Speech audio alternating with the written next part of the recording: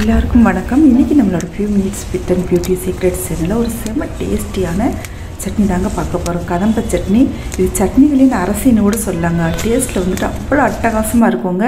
இது வந்துட்டு இட்லி சப்பாத்தி பூரி பரோட்டா அடுத்து பார்த்திங்கன்னு சொன்னால் ஊத்தப்பம் இடியாப்பம் இது எல்லாத்தையுமே செம்ம சூப்பராக இருக்குங்க. அதுக்கு அடுத்து பார்த்திங்கன்னு சொன்னால் நம்ம ரைஸ் இருக்கு இல்லையா ஒயிட் ரைஸில் பார்த்தீங்கன்னா இரண்டு ஸ்பூன் அளவுக்கு இந்த சட்னி போட்டுட்டு நல்லெண்ணெய் போட்டு பெசரி சாப்பிட்டோம் அப்படின்னு சொன்னாலும் அவ்வளோ அட்டகாசமாக இருக்குங்க இந்த சட்னி.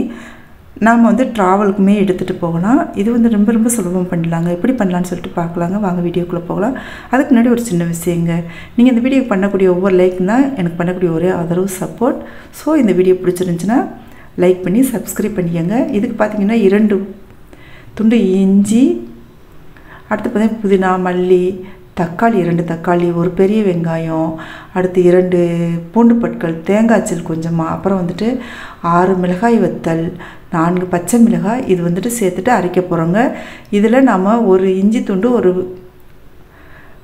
பூண்டு இதில் இரண்டு மிளகாய் வத்தல் இதெல்லாம் வந்துட்டு நம்ம கடைசியில் பச்சையாக சேர்த்துக்கப்புறம் மற்ற எல்லாமே நம்ம வதக்கி அரைக்க போகிறோங்க இப்போ ஒரு பாத்திரத்தை அடுப்பில் வச்சுட்டு கொஞ்சமாக எண்ணெய் சேர்த்துக்கலாங்க. நம்மளுக்கு எவ்வளோ வதக்குறதுக்கு தேவையான அளவுக்கு நம்ம சேர்த்துக்கிட்டா போதுங்க. இந்த சப்பாத்திக்கு பார்த்திங்கன்னு சொன்னால் இந்த நடுவில் நம்ம இந்த சட்னி வச்சு சாப்பிட்டோம்னா அவ்வளோ நல்லா இருக்குங்க. இப்போ அரை ஸ்பூன் அளவுக்கு உளுந்தம்பருப்பு அரை ஸ்பூன் அளவுக்கு கடலைப்பருப்பு இது சேர்த்துட்டு நல்லா வதங்கி வரட்டுங்க. நல்லா பொறிஞ்சு செவந்து வர வரைக்கும் விட்டுட்டு அடுத்து பார்த்து ஒரு பிஞ்ச் அளவுக்கு கடுகு சேர்த்துக்கலாங்க. இது எதுக்காக அப்படின்னு சொன்னால் இந்த சட்னி வந்து டேஸ்ட் எங்கேருந்து வருதுன்னு தெரியணுங்க அது ஒரு டேஸ்டியாக இருக்கும். இந்த ஒரு பிஞ்ச் அளவுக்கு நம்ம கடுகு சேர்த்ததுனால இப்போ வந்துட்டு ஐந்து மிளகாய் வத்தல் கொஞ்சமாக வந்துட்டு தேங்காய்ச்சல் எடுத்து வச்சுருந்தோம் இல்லையா? இது எல்லாமே நல்லா நம்ம வதக்கி எடுத்துக்கலாங்க. இந்த மிளகாய் வத்தல் நல்லா செவந்து வந்துடணுங்க. தக்காளி சேர்த்துக்கலாம். எந்த ஒரு சட்னிக்குமே நல்லா தக்காளி வதங்கி மசிஞ்சு வந்தால் மட்டும்தாங்க ரொம்பவே டேஸ்டியாக இருக்கும்.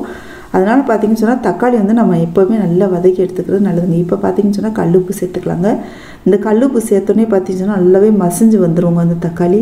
அடுத்து நான்கு பச்சை மிளகாய் இந்த பூண்டு இதை நம்ம வந்து இதோட சேர்த்துக்கலாம். பூண்டு ஒரு பூண்டு ஒரு இஞ்சி இதை இதோட சேர்த்துக்கலாங்க. இப்போ பாருங்கள் ஓரளவு நல்லா ம மசிஞ்சு வந்துடுச்சு பாருங்கள் இந்த டைமில் நம்ம வெங்காயத்தை சேர்த்துக்கலாம்.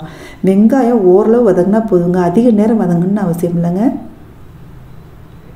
ஓரளவு கண்ணாடி பதம்னு சொல்லுவோம் இல்லையா? அந்த அளவுக்கு வதங்கினாலே போதும். இந்த டைமில் நம்ம கருவேப்பிலை இலைகள் சேர்த்துக்கலாம். இப்போ பாருங்கள் ஓரளவு நல்லா வதங்கி வந்துருச்சுங்க. இந்த டைமில் நம்ம புதினா இலைகள் அடுத்து பார்த்திங்கன்னா மல்லி இலைகள் இது எல்லாமே சேர்த்துக்கலாம். சேர்த்துட்டு அதையும் ஒரு லைட்டாக வதக்கி எடுத்துக்கலாங்க. லைட்டாக வதக்கினாலே போதுங்க. அதிக நேரம் வதங்க வேண்டியது இல்லைங்க நம்ம இந்த புதினா இலைகள் எப்போவுமே நம்ம கடையிலேருந்து வாங்கிட்டு வரும்போது அந்த இலைகளை நம்ம ஆஞ்சி எடுத்துட்டு அதுக்கு பின்னாடி இந்த குச்சியில் நம்ம வந்து ஊண்டி வச்சோம்னாலே நம்மளுக்கு வீட்டுக்கு தேவையான அளவுக்கு புதினா இலைகள் ரொம்பவே ஃப்ரெஷ்ஷாக வாசனையாக கிடைக்குங்க.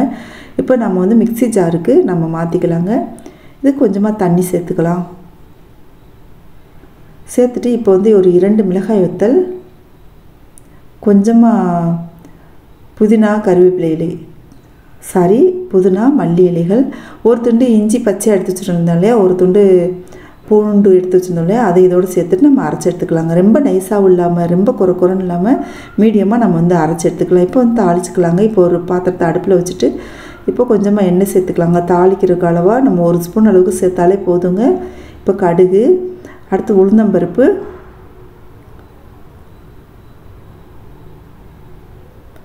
அடுத்து வாசனைக்காக மிளகாய் வத்தல் போட்டுட்டு நம்ம மிளகாய் வத்தல் செவந்து வந்த பின்னாடி கறிப்பிலை இலைகளை சேர்த்துக்கலாங்க. இவ்வளோ தாங்க. செம டேஸ்டியான இந்த கதம்ப சட்னி ரெடி ஆயிடுச்சுங்க. இந்த பதிவு உங்களுக்கு பிடிச்சிருந்துச்சுன்னா நம்ம சேனல் இது வரைக்கும் சப்ஸ்கிரைப் பண்ணலைன்னா சப்ஸ்கிரைப் பண்ணிக்கோங்க. பெல்லைக்கான கிளிக் பண்ணிக்கோங்க. ஃப்ரெண்ட்ஸ் அண்ட் ஃபேமிலிக்கு ஷேர் பண்ணுங்கள் லைக் பண்ணுங்கள் கமெண்ட் பண்ணுங்கள் thank you so much take care bye